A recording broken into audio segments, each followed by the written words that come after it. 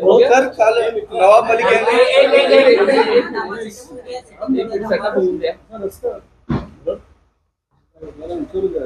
Okay okay काल नवाब मलिक यांनी अजित पवार यांना पाठिंबा दिला त्यानंतर देवेंद्र फडणवीस यांनी पत्र लिहून नवाब मलिकला पाठिंबा महायुतीला मंजूर नाही असं म्हटलेलं आहे कसं बघता महायुती बिघडली जाईल असं तुम्हाला वाटते का हे ढोंग आहे लबाड लांडगर ढोंग करतायत असं एक गाणं दादा कोणतीच्या सिनेमात होतं. सध्या नागपूरला लवाड लांडग भंग करत आहे बरं का? आणि बाकी सगळं ते सॉंग करत आहे हे सगळं ढोंग आणि सोंग हे चाललेलं आहे.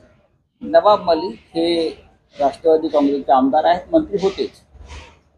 त्यांच्यावरती जे काही आरोप आहेत त्या अद्याप सिद्ध व्हायचे. नवाब मलिक ह्याच्या संदर्भात त्यावेळेला अजित पवार असतील जयंतराव पाटील असतील सगळ्यांनी भूमिका घेतली. की आरोप सिद्ध झाले नाही तोपर्यंत त्यांना गुन्हेगार ठरवू नका कोणत्याही प्रकार. आणि त्यावेळेला विधानसभेत आणि विधानसभेच्या बाहेर देवेंद्र फडणवीस असतील किंवा त्यांचे इतर सहकारी असतील त्यांनी जी भाषणं केलेली आहेत तर त्यांच्या ज्या बाहेर टोळ्या आहेत भाजपच्या पाळलेल्या हायर. त्यांनी जे काय मलिक यांच्याविषयी वक्तव्य केलं ते पाहण्यासारखं आता मलिक वैद्यकीय जामिनावर सुटले आणि ते काल अजित पवार यांच्या गटाच्या बाकावर जाऊन बसले. त्याच्यामुळे नैतिकतेची बुडबुडे भारतीय जनता पक्षाच्या असे बुडबुड बुडबुड बुडबुड करू लागले. हे ढोंग आहे. पूर्णपणे हे ढोंग आहे. एखाद्या कोल्ह्यानं कपटी कोल्ह्यानं वाघाचं कातलं फोडून नैतिकतेच्या डरकाळ्या फोडाव्या तसा हा प्रकार. जर तुम्हाला नैतिकतेचा इतका पुळका आहे काय तर म्हणे सत्तेपेक्षा देश महत्त्वाचा. काय? हे नवीनच माहिती दिली आम्हाला भारतीय जनता पक्षानं. या देशातल्या एकशे चाळीस कोटी जनतेला माहीतच नाही की देश महत्त्वाचा आहे. ये भाजपचे के पहली बार बताया कि देश सबसे ऊपर है बाकी हम सब मूर्ख है ना.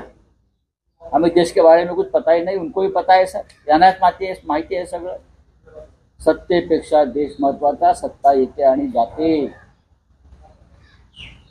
मग का? नवाब मलिक यांच्यावर तुम्ही हल्ला करता. त्याच प्रकारची केस आणि खटला प्रफुल्ल पटेलवरती है उनका भी दाऊद के लोगों से जमीन का व्यवहार है और उसके बारे में ईडी ने कार्रवाई की है। उनकी भी प्रॉपर्टी ईडी ने जब्त की है। जब प्रफुल्ल पटेल जी यूपीए के सरकार में मंत्री थे इसी मुद्दे पर भाजपा ने सोनिया गांधी के ऊपर सवाल उठाए। आपको मालूम है? यही मुद्दा है।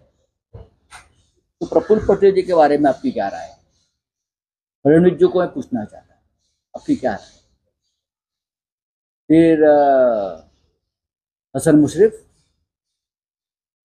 सत्तर हज़ार घोटाले वाले सिंचन घोटाले वाले अजित पवार